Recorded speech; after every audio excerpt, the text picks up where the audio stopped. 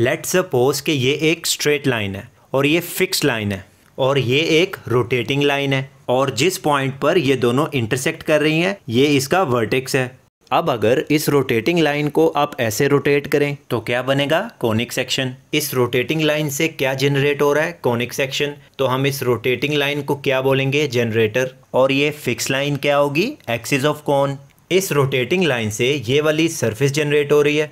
तो इस सरफेस को हम बोलेंगे नैप वर्टेक्स से ऊपर जो सरफेस जनरेट हो रही है उसको हम बोलेंगे अपर नैप और वर्टेक्स से नीचे जो सरफेस जनरेट हो रही है उसको हम बोलेंगे लोअर नैप कॉनिक सेक्शन एक ऐसा कर्व होता है जो कोन और प्लेन के इंटरसेक्शन से बनता है। कॉनिक सेक्शन की तीन टाइप्स होती हैं पैराबोला हाइपरबोला और इलिप्स और सर्कल जो होता है वो इलिप्स का स्पेशल केस होता है। अब हमने प्लेन को इंटरसेक्ट करवाना है कोन से। अगर प्लेन परपेंडिकुलर हो एक्सिस ऑफ़ कोन के तो सर्कल बनेगा। अगर प्लेन को स्लाइटली टिल्ट करें, यानी थोड़ा रोटेट करें, और वो सिर्फ़ एक ही नैप को टच करे तो इलिप्स बनेगा। अगर प्लेन को थोड़ा और रोटेट करें, और वो सिर्फ़ एक ही नैप को टच करे, और वो पैरेलल हो जनरेटर ऑफ़ कॉन के तो पैराबोला बनेगा। अब प्लेन को थोड़ा और टिल्ट करें, इस तरह के वो दोनों नैप को टच करे, और वो एक्सिस ऑफ़ कॉन के पैरेलल हो तो क्या बनेगा? हाइपरबोला लेट सपोज़ कि ये वाई एक्सिस है और ये एक्स एक्सिस है और ये दोनों जिस पॉइंट पर मिल रहे हैं, ये इनका सेंटर है। इसके ऊपर हमने एक पैराबोला ड्रॉ किया है। ये इस पैराबोला का फोकस है। इस फोकस से लेकर सेंटर तक का जो डिस्टेंस है, वो ए है और सेंटर से लेकर उतने ही ऑपोजिट डिस्टेंस पर एक लाइन है, जिसको हम बोलते हैं डायरेक्ट्रिक्स लाइन और ये डिस्टेंस भी ए होगा। अब इस पैराबोला पर आप कोई भी एक पॉइंट ले लें। इस पॉइंट से लेकर फोकस तक का डिस्टेंस और इस पॉइंट से लेकर डायरेक्ट्रिक्स लाइन तक का डिस्टेंस हमेशा सेम होगा। इसका मतलब पी एफ़ और पी डी की रेशो हमेशा सेम होगी और इस रेशो को हम बोलते हैं इसेंट्रिसिटी और इसको हम ई e से डिनोट करते हैं और पैराबोला की एसेंट्रिसिटी हमेशा वन के बराबर होती है और हाइपरबोला की एसेंट्रिसिटी वन से बड़ी होती है। इलिप्स की एसेंट्रिसिटी वन से छोटी होती है।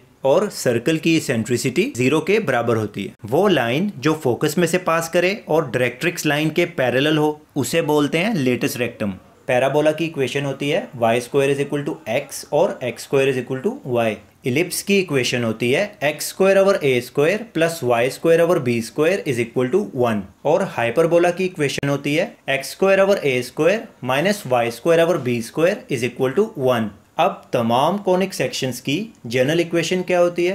A x square plus b y square plus c x plus d y plus e is equal to zero a जो है वो एक्स स्क्वायर का कोफिशेंट होता है बी जो है वो वाई स्क्वायर का कोफिशेंट होता है, और ई e जो है वो कांस्टेंट होता है। अब अगर एक्स स्क्वायर और वाई स्क्वायर का कोफिशेंट यानी ए और बी बराबर हो जाए वन के तो इक्वेशन बन जाएगी x square plus y square plus c x plus d y plus e is equal to zero और ये जर्नल इक्वेशन होगी सर्कल की।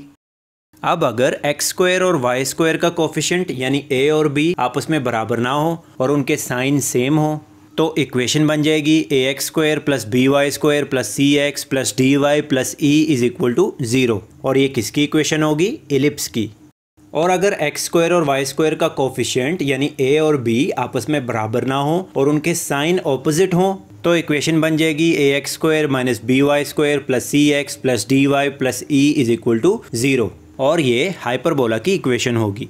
और अगर ए ज़ीरो हो या बी ज़ीरो हो, हम बी को ज़ीरो कर देते हैं। तो इक्वेशन बन जाएगी a x square plus c x plus d y plus e is equal to zero और ये इक्वेशन होगी पैराबोला की। बेल आइकन नहीं दबाना मत दबाओ। मेरे चैनल को सब्सक्राइब कर दो।